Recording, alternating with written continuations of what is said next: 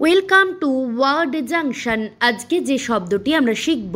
সেটি হলো পার্সোনালাইজড যার অর্থ ব্যক্তিগতকৃত, বিশেষভাবে প্রস্তুত customized first example she received a personalized gift with her name engraved on it যার অর্থ তিনি তার নাম খোদাই করা একটি ব্যক্তিগতকৃত উপহার পেয়েছিলেন। Second example, the company offers personalized customer service to meet specific needs.